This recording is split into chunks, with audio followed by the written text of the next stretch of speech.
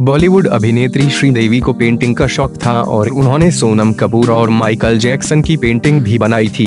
Sridevi acting और dancing में तो माहिर थी ही, लेकिन कम ही लोगों को उनकी एक अन्य हॉबी के बारे में पता होगा श्रीदेवी को पेंटिंग का शौक था और वे लंबे समय से पेंटिंग कर रही थीं। चर्चा थी कि उनकी पेंटिंग्स आठ से दस लाख रुपए में नीलाम की जाएगी श्रीदेवी की बनाई हुई सोनम कपूर और माइकल जैक्सन की पेंटिंग्स नीलाम होने वाली थीं। श्रीदेवी को पेंटिंग का शौक था और फ़िल्मों से फुर्सत पाकर वे पेंटिंग करती थीं।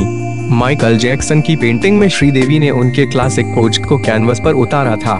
वहीं सोनम कपूर की पेंटिंग में उन्होंने उनकी डेब्यू फ़िल्म सैमी कॉलन सांवरिया से एक पोज को बनाया था